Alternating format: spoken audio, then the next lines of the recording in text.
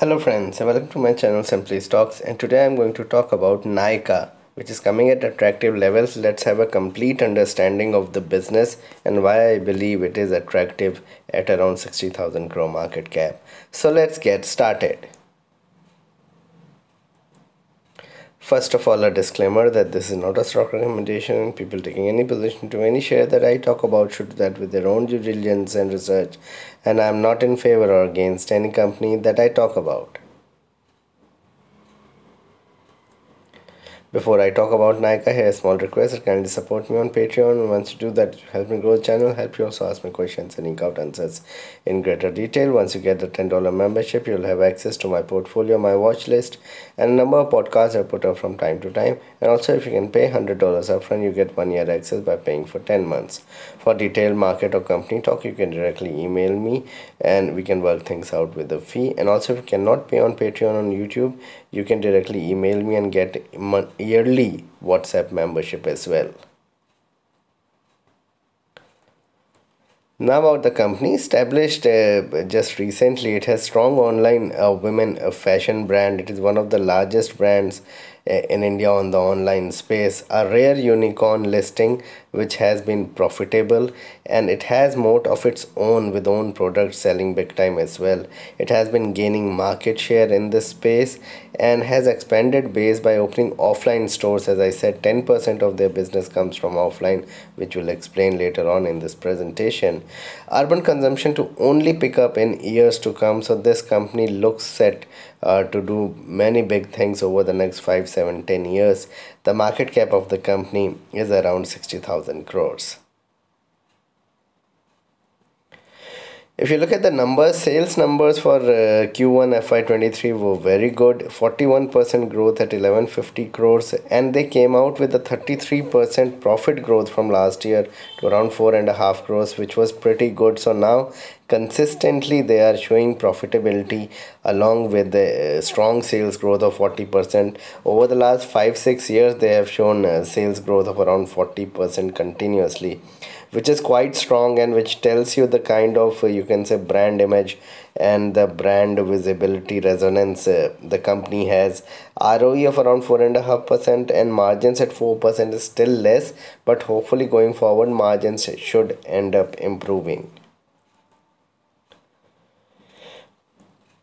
So if we look at the results at the glance, margins were down 3 30% uh, year on year and was stable Q on Q. And basically margins were down because uh, contrary to other businesses or major businesses across uh, the sectors, uh, in in online space the business did exceedingly well during the pandemic. And that's why margins at that point of time were very good and profitability were good in fy20 and 21 so it had to drop down uh, in in a period where things open up completely. So margins are much better than 2020 june where the pandemic hit big time initially which is quite good.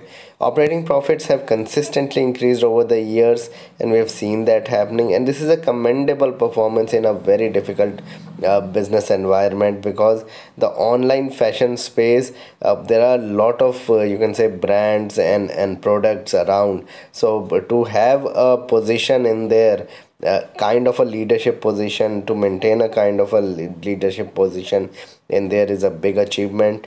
Uh, so demand should pick up as domestic festive season picks up this time around. And i believe numbers are only set to improve going forward as uh, people's expectations and people's habits change going forward. So top line growth has remained robust. That is a very uh, big thing. And considering the same top line growth we could see over 5000 crores of sales uh, by FY23 or so by in this year. Uh, we have had only one quarter. Next three quarters could be big uh, for the company So if you look at the revenue picture over the last three years from FY19 to 22, then from around 1116 crores, uh, it has gone up to 3800 crores at the moment. So it's up by 3x, uh, around just over 3x, uh, you can say growth in uh, sales over the last three years, uh, which is quite strong. And I think this is set to continue with over 5000 crores should be coming in uh, for FY23 as well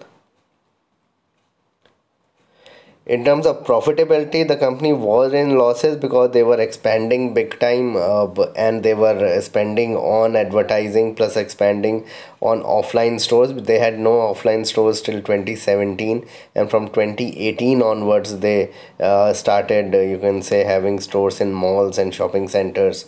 And so their expansion there led to in FY19 a loss of around 25 crores.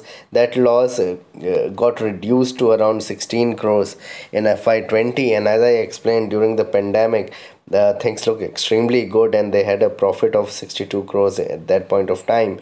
Uh, and uh, uh, right at the fag end of FY21 or sorry uh, after FY21 they had an IPO by November or so October November. So uh, this was in FY22 just recently. So it has been just about a year in, into the IPO and they, they they have come out with 41 crores of profitability in FY22 uh, where things have opened up so their margins reduced but hopefully things should stabilize by FY24 and profitability should only increase.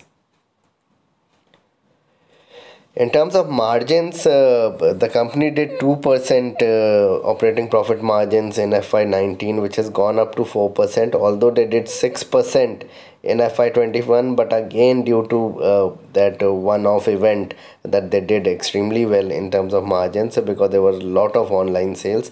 But we can expect between 4 to 5% margins which would be uh, pretty good considering the kind of growth in sales that they are doing. If sales are growing at 40% and even margins remain at 4-5% uh, profitability should be good on the bottom line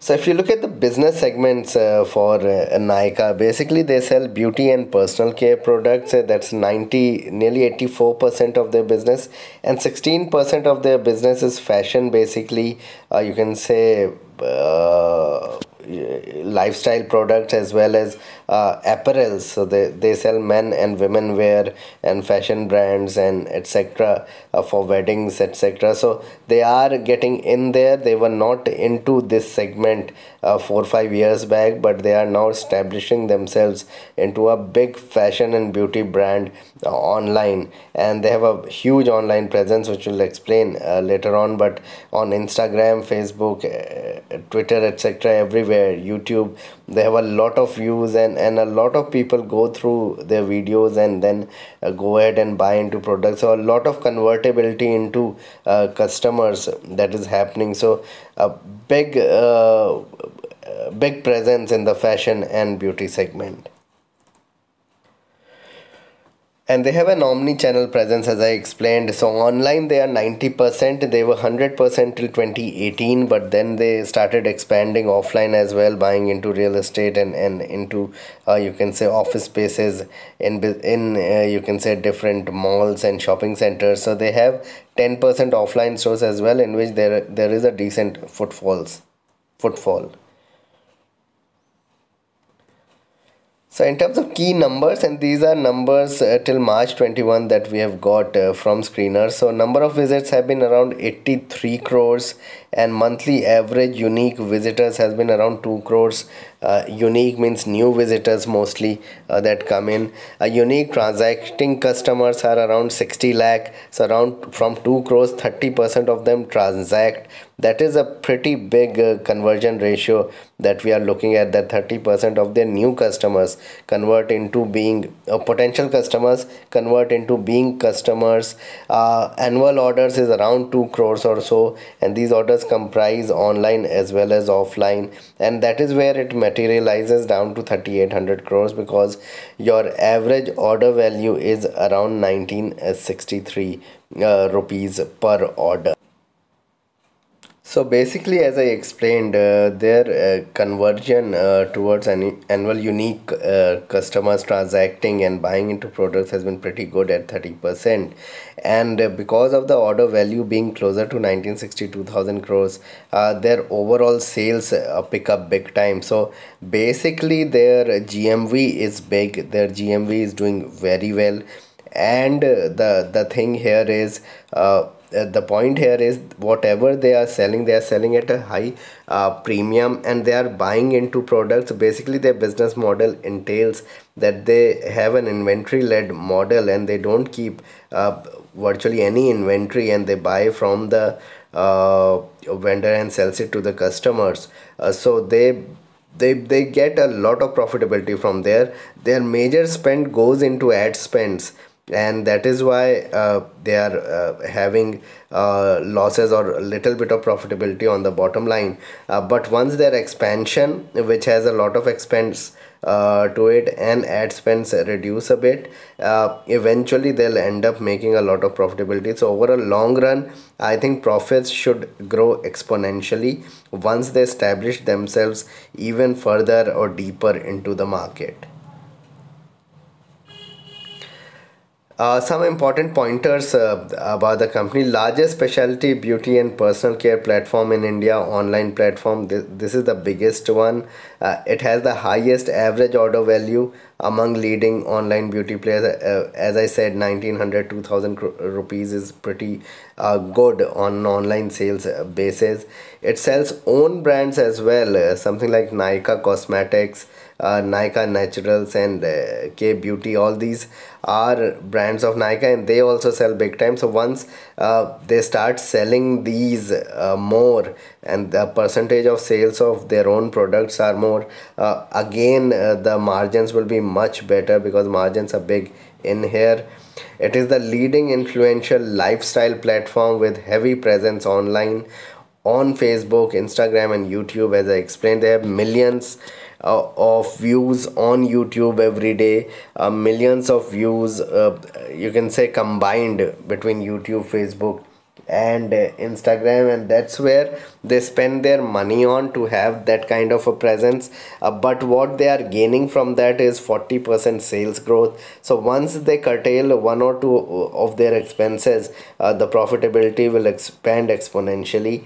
It has one of the highest share of mobile application uh, led transaction among the leading online retail uh, platforms in India. Uh, most uh, you can say in terms of fashion brands or, or makeup or beauty brands, uh, it has the highest downloads in terms of uh, uh, its application and the way app is being used across the board in all sorts of you can say economic strata here in India. Some more important pointers is that and probably a forecast that demand should uh, increase in online fashion space going forward. If we look if we look 5 6 years down the line the demand should improve big time.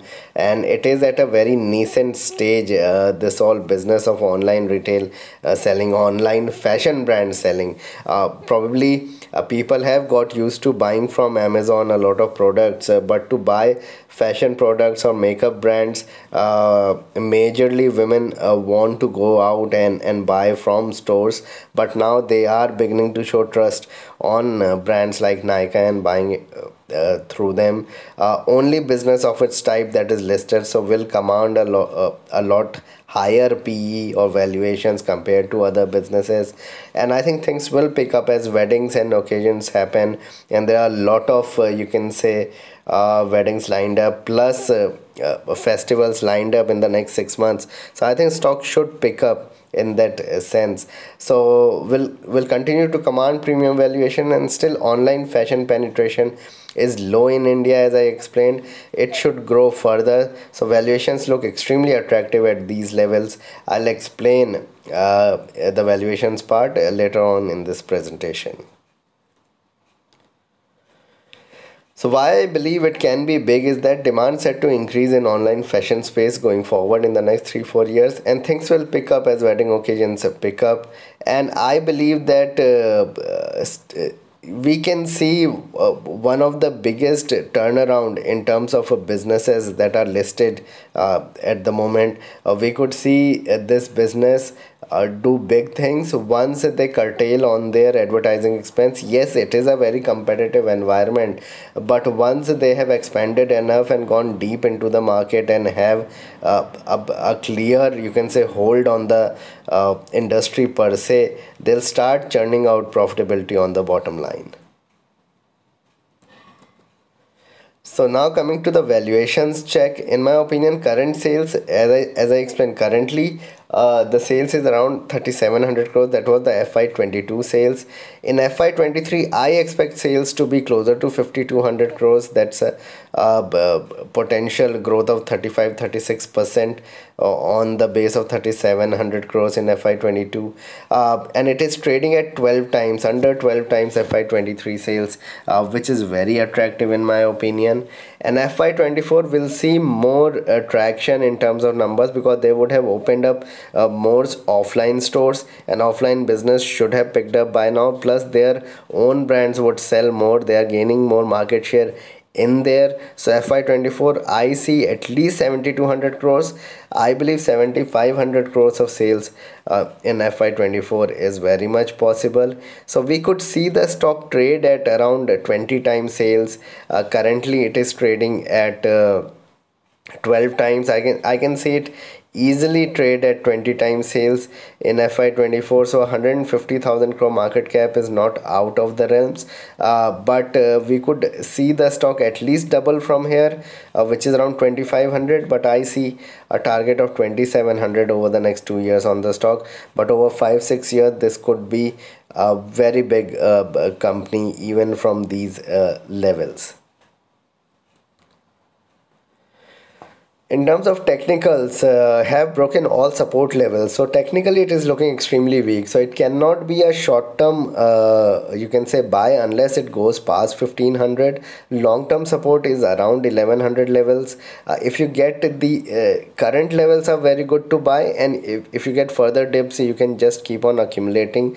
I believe that over a 2 3 year period it could be a double from here easily So in my opinion, those who hold at lower levels can continue to hold. Even for fresh entry, these are very good levels uh, to get into. Those who have bought at higher levels, say 1350, 1400, can average at these levels. It looks like a consistent performer till 2025 and allocate less than 10%, maybe around 7% of your total holding into uh, this stock. And I believe that the best way to buy these stocks in during is during market stress and currently the market is at a level where one can accumulate these jewels at these levels. So this was my video on Nykaa. Please like and subscribe my channel and hit the bell icon so you get my video straight away when I post it and kindly support me on Patreon. Thanks a lot for watching.